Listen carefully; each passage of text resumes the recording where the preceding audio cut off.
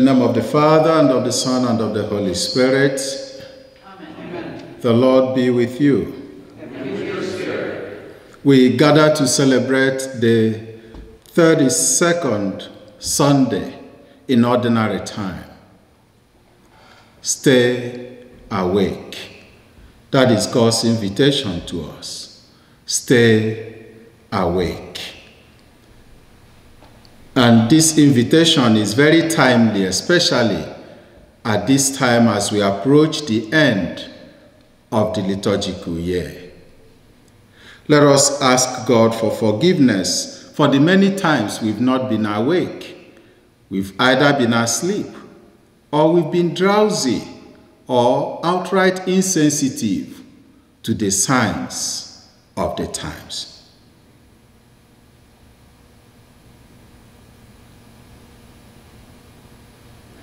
Lord, have mercy. Lord, have mercy. Christ, have mercy. Christ, have mercy. Lord, have mercy. Lord, have mercy. Almighty God, have mercy on us, forgive us our sins, and bring us to life everlasting.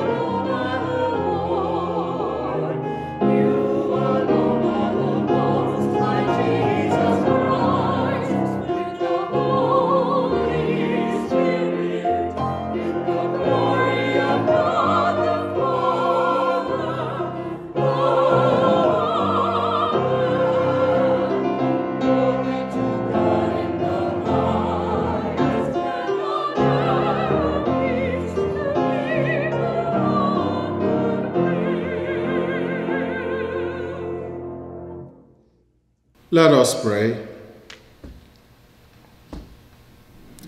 Almighty and merciful God, graciously keep from us all adversity, so that unhindered in mind and body alike, we may pursue in freedom of heart the things that are yours. Through our Lord Jesus Christ, your Son, and our brother, who lives and reigns with you in the unity of the Holy Spirit, one God, forever and ever. Amen. A reading from the book of wisdom. Resplendent and unfading is wisdom, and she is readily perceived by those who love her, and found by those who seek her. She hastens to make herself known in anticipation of their desire. Whoever watches for her at dawn shall not be disappointed, for he shall find her sitting by his gate. For taking thought of wisdom is the perfection of prudence, and whoever for her sake keeps vigil shall quickly be free from care. because she makes her own rounds, seeking those worthy of her, and graciously appears to them in the ways and meets them with all solicitude. The word of the Lord. Thanks be to God.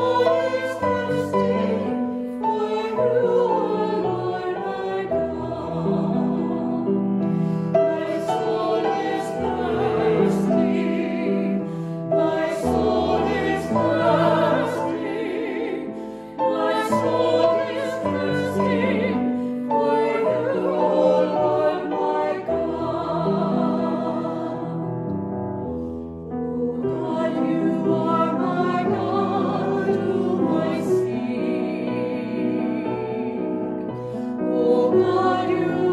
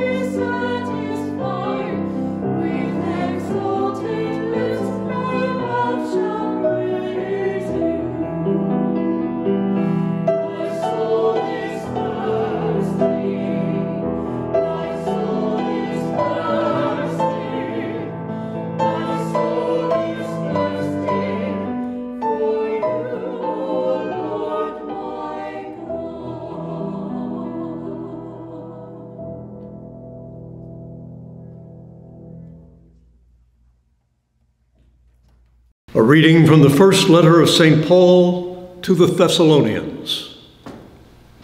We do not want you to be unaware, brothers and sisters, about those who have fallen asleep, so that you may not grieve like the rest who have no hope. For if we believe that Jesus died and rose, so too will God, through Jesus, bring with him those who have fallen asleep. Indeed, we tell you this on the word of the Lord, that we who are alive, who are left until the coming of the Lord, will surely not precede those who have fallen asleep. For the Lord himself, with a word of command, with the voice of an archangel, and with the trumpet of God, will come down from heaven, and the dead in Christ will rise first. Then we, who are alive, who are left, will be caught up together with them in the clouds to meet the Lord in the air. Thus shall we always be with the Lord. Therefore, console one another with these words. The word of the Lord. Thanks be to God.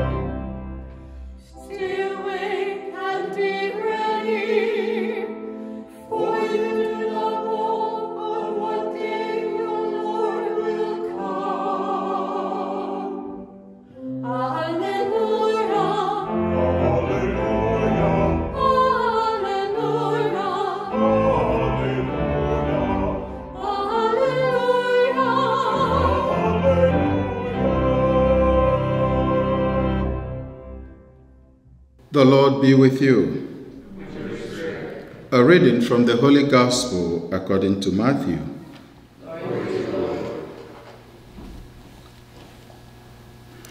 Jesus told his disciples this parable The kingdom of heaven will be like ten virgins who took their lamps and went out to meet the bridegroom.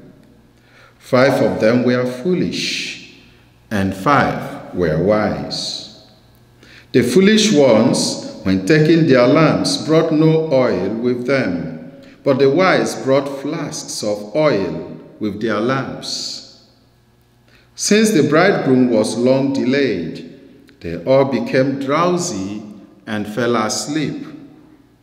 At midnight, there was a cry Behold, the bridegroom, come out to meet him. Then all those virgins got up and trimmed their lamps. The foolish ones said to the wise, Give us some of your oil, for our lamps are going out. But the wise ones replied, No, there, are, there may not be enough for us and you. Go instead to the merchants and buy some for yourselves. While they went off to buy it, the bridegroom came, and those who were ready went into the wedding feast with him. Then the door was locked. Afterwards, the other virgins came and said, Lord, Lord, open the door for us. But he said in reply, Amen, I say to you, I do not know you. Therefore, stay awake, for you know neither the day nor the hour. The Gospel of the Lord.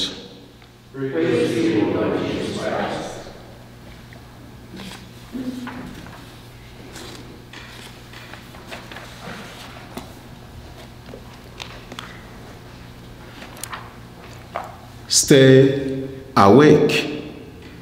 Stay awake.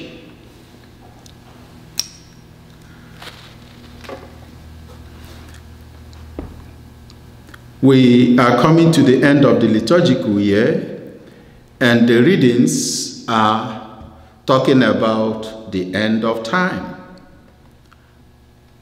And Jesus tells this parable not just about the end of the world, but also about the end of our own lives. But more than that, Jesus talks about the, our living in the now. Stay awake. What does staying awake mean? What does staying awake mean in the context that Jesus presents us with today. To stay awake does not simply mean not to be asleep. It means to be alert. It means we have to be sensitive. We have to be in the present moment. Stay awake. It also means that we have to be sensitive to the move of God. What is God doing now in our midst? It means that we have to be sensitive to the signs of the times. Understand when things are changing and when God is calling us to change, not just as individuals, but as a church and as a people. Stay awake. And Jesus uses the, talks about the ten virgins. Well, if this, this word virgin is used within the context of Isaiah chapter 7, verse 14, we are talking about maidens, unmarried women. They went to meet the bridegroom, they went for a wedding feast, and even though they were virgins, some of them were foolish. It means that what you are is not simply what makes you wise. You can be a priest and be foolish, can be a bishop and be foolish. You can be anything and still be foolish. 90 years old and foolish. So, when we say that, you know, age comes, wisdom comes with age, well, the analysis, you know, we can do the analysis later, but there are still people who are aging, but they have learned nothing. And so, there are people who are virgins and they are foolish, Jesus tells us. But more than that, the moral of the story is what is important to us. Sensitivity. Sensitivity. In the Bible, we are told that Jesus, of course, recorded wept twice. First, he wept at the tomb of Lazarus because of their friendship. But secondly, he wept over Jerusalem. He came and beheld Jerusalem, and he wept. His heart broke. He said, Jerusalem, Jerusalem, if only you are sensitive to what God is doing in your midst. If only you are sensitive to the opportunities that God is offering. He said, but you have failed to recognize the time of your visitation. And in some ways today, maybe Jesus also weeps for his church. We seem to be a church with an identity crisis.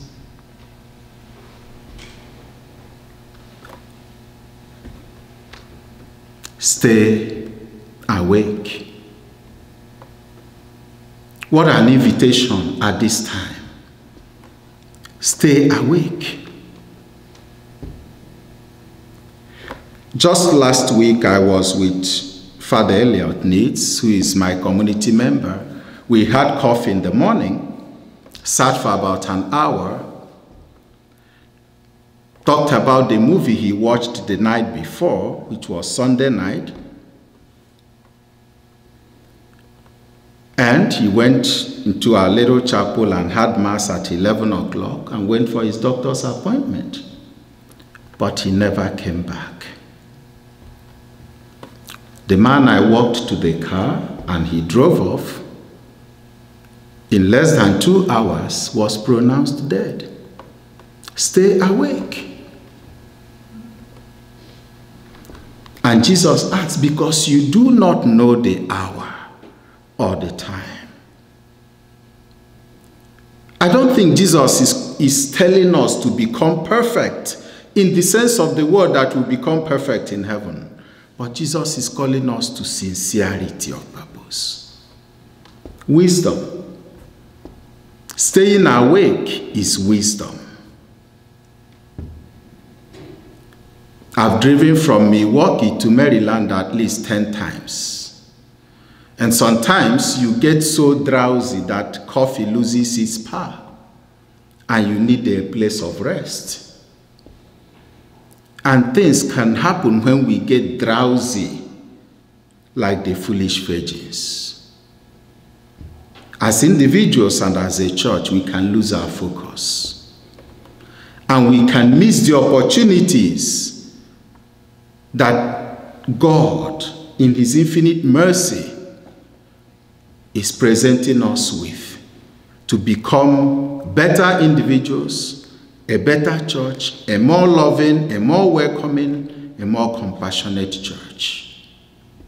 It says wisdom stands at the gateways and calls to people who are desirous. Come. And that wisdom is staying awake. It is being sensitive. Let us pray at this time. At this time of different transitions. At this time of fear and anxiety.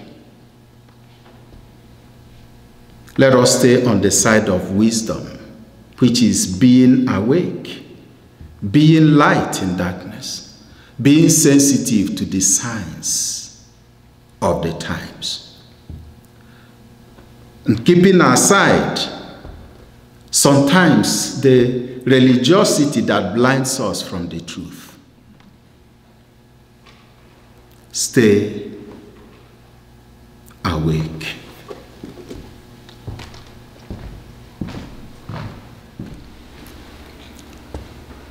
Let us profess our faith with the Apostles' Creed.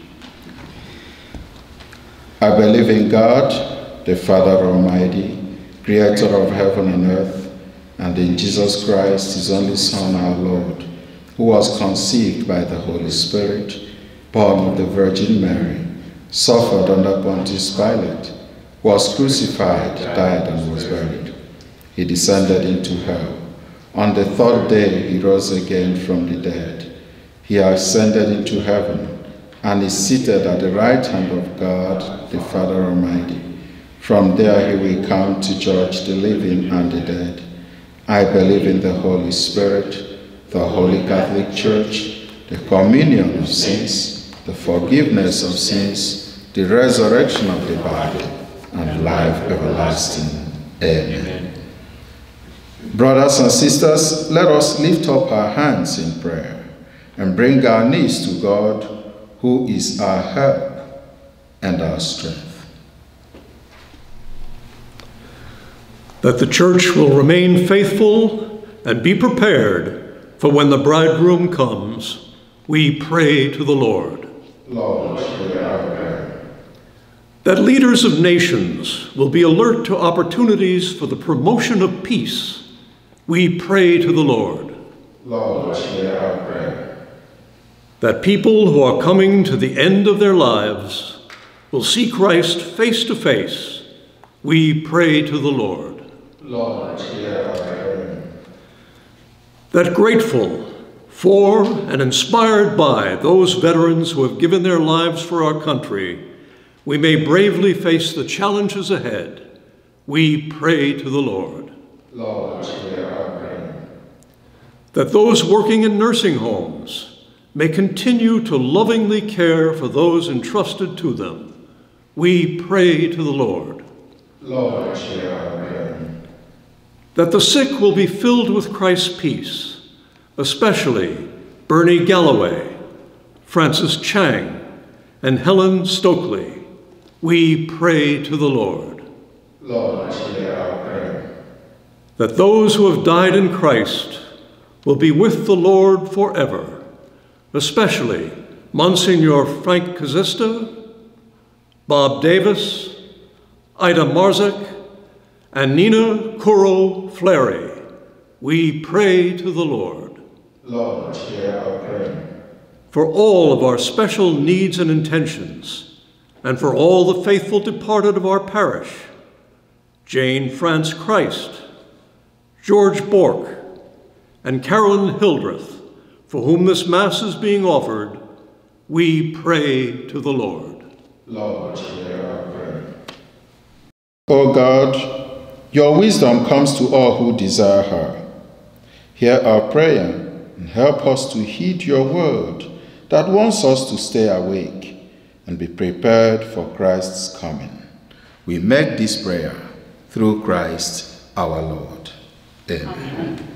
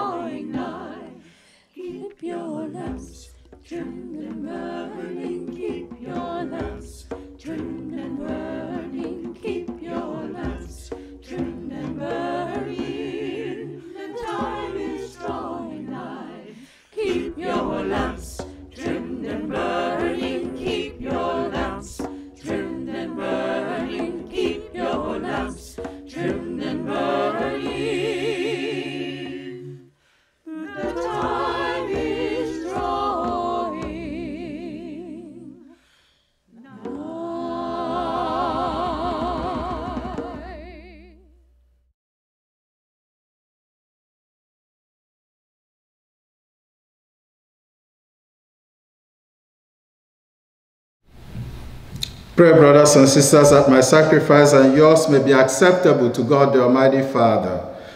May the Lord accept the sacrifice at your hands for the praise and glory of His name, for all. Look with fervor, we pray, O Lord, upon the sacrificial gifts offered here, that celebrating in mystery the passion of your Son, we may honor it with loving devotion. Through Christ our Lord. The Lord be with you. Lift up your hearts. Let us give thanks to the Lord our God. It is truly right and just our duty and our salvation, always and everywhere to give you thanks. Lord, Holy Father, Almighty and eternal God, through Christ our Lord.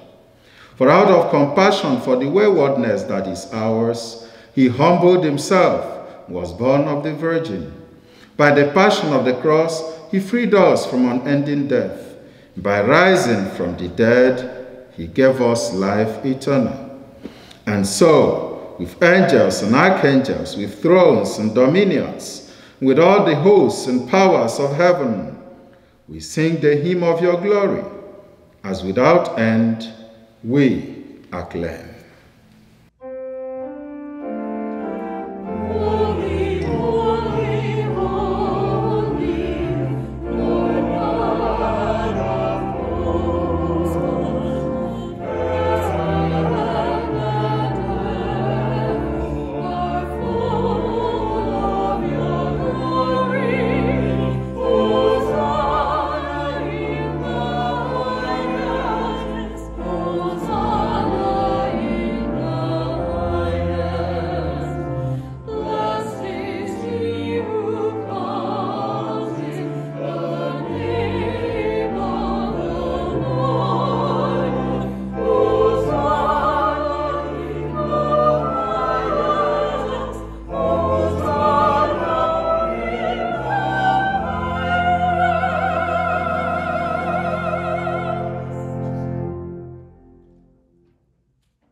You are indeed holy, O Lord, the fount of all holiness.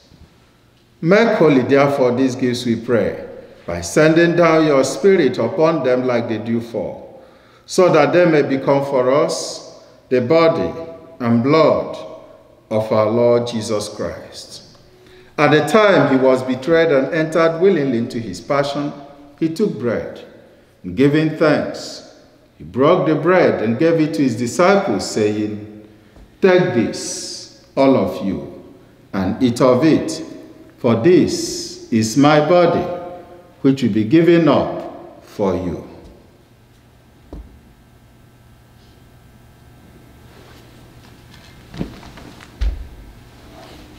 In a similar way, when supper was ended, he took the chalice and once more giving thanks, he gave it to his disciples, saying, Take this, all of you, and drink from it, for this is the chalice of my blood, the blood of the new and eternal covenant, which will be poured out for you and for many for the forgiveness of sins.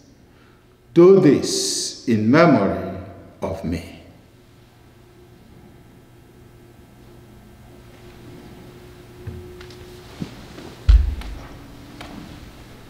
The mystery of faith.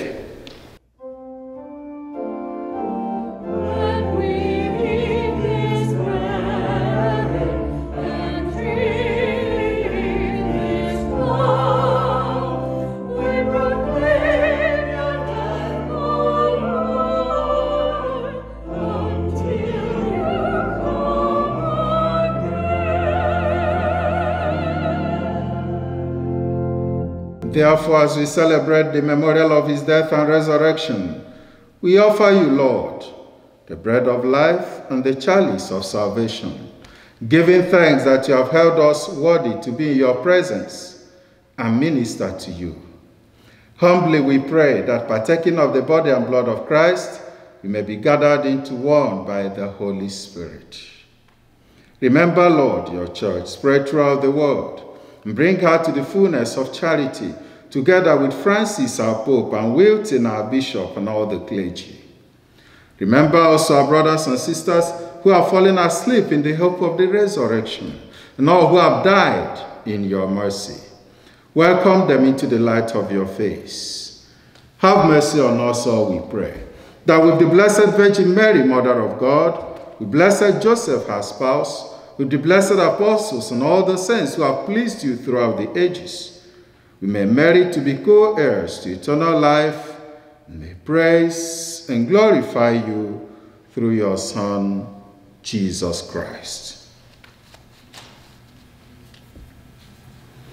Through him, and with him, and in him, O God Almighty Father, in the unity of the Holy Spirit, all glory and honor is yours forever and ever.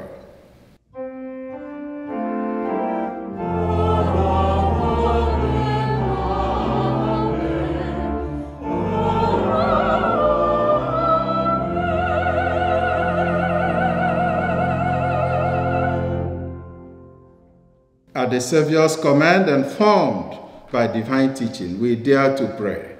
Our Father, who art in heaven, hallowed be thy name. Thy kingdom come, thy will be done, on earth as it is in heaven. Give us this day our daily bread. Forgive us our trespasses, as we forgive those who trespass against us. And lead us not into temptation, but deliver us from evil. Deliver us, Lord, we pray, from every evil. Graciously grant peace in our days, that by the help of your mercy we may be always free from sin and safe from all distress, as we await the blessed hope and the coming of our Savior, Jesus Christ. Lord Jesus Christ, who said to your apostles, Peace I leave you, my peace I give you. Look not on our sins, but on the faith of your church. And graciously grant her peace and unity in accordance with your will. Live and reign forever and ever. The peace of the Lord be with you always.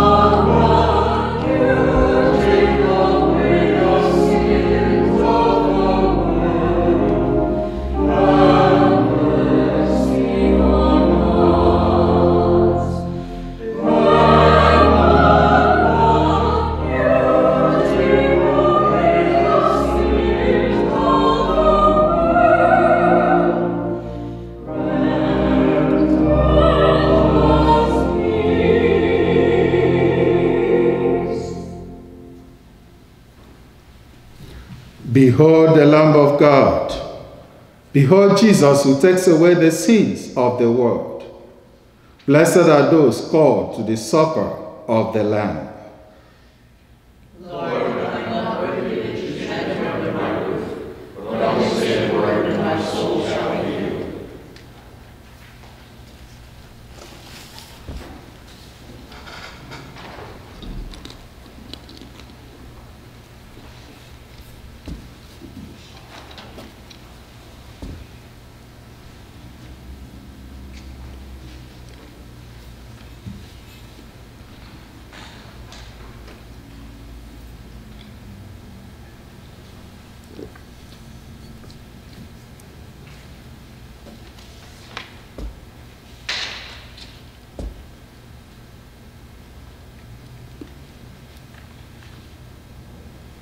My Jesus, I believe that you are present in the most holy sacrament and that you are truly present in this holy Mass. I have lovingly worshipped you by prayerfully watching today's Mass. So, by my membership in the mystical body, please present me to the Father in your perfect sacrifice, O Jesus. Although I do not I do desire to receive you as Eucharist in person, at this moment I cannot. I humbly ask you to come to me spiritually. I give myself to you. I love you, O Lord God. Hear my petitions and those of the church, your bride that we may be drawn by your Spirit towards our beautiful wedding day in your glory. Amen.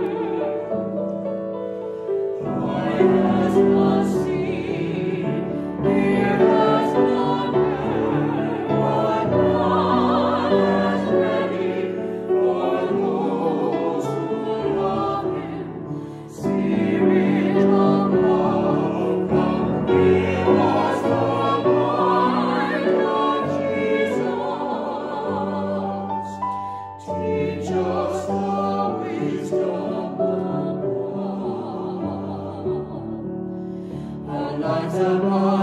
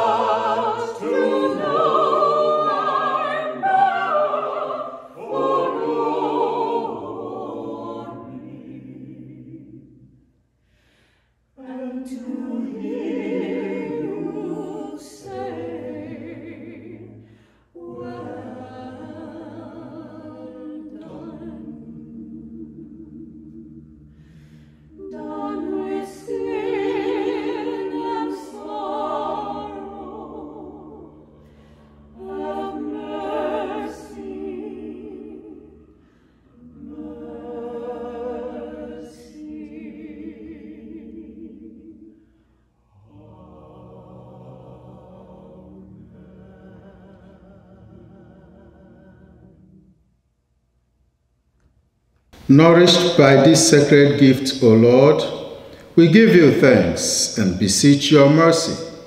By the pouring forth of your Spirit, the grace of integrity may endure in those your heavenly power has entered. Through Christ our Lord. Amen. The Lord be with you. Almighty God bless you, the Father, and the Son, and the Holy Spirit. This Mass is ended. Go in peace.